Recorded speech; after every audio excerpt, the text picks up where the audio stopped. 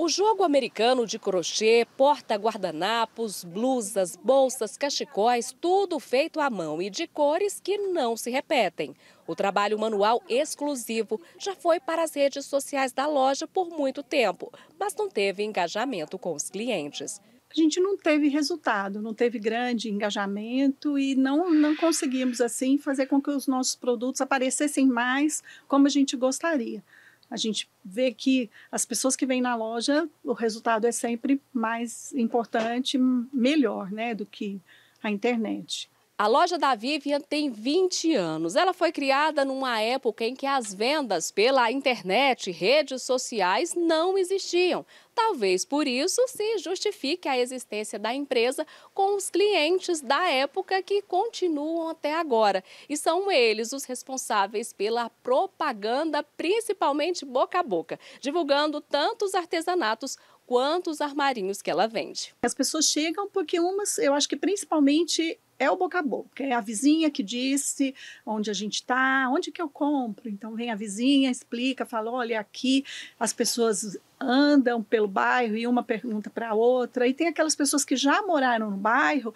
e que sabem que a gente está aqui também e que voltam para procurar a gente na loja. Uma pesquisa do Sebrae Nacional apontou que 30% dos pequenos negócios ainda não vendem por meios digitais. Muitos têm essa característica da loja de armarinhos. São estabelecidos em bairros e o comércio é mantido pela vizinhança. Mas especialistas dizem que para quem pensa em expandir, é preciso insistir. Talvez usando as ferramentas certas de marketing digital. Planejar bem o que você vai fazer, escolher o seu perfil de público, começar a fazer o básico bem feito e se aprimorar a partir disso. Né? Só depois você vai incorporar ferramentas mais avançadas a respeito disso. Eu digo que os pequenos negócios precisam estar on, onde o cliente procura por ele, onde o cliente está e onde ele quiser. Onde é que o seu cliente procura hoje inicialmente para fazer qualquer tipo de compra?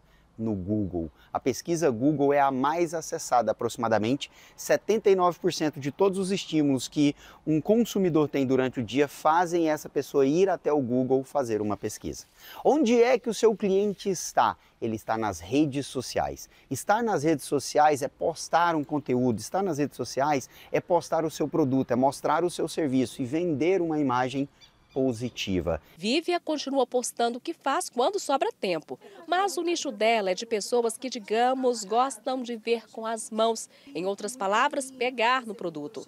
O desafio é encontrar mais gente assim também com a ajuda do digital. As pessoas gostam de vir, de olhar para ver se a cor é aquela cor legal, se dá certo nela. Então as pessoas gostam de vir aqui, ela gosta de olhar o tapete, ver se o tamanho é o adequado para a casa dela, se a bolsa é daquele jeito mesmo. Então eu vejo assim que o nosso produto, por ser artesanal, é um produto que a pessoa quer estar próxima dele.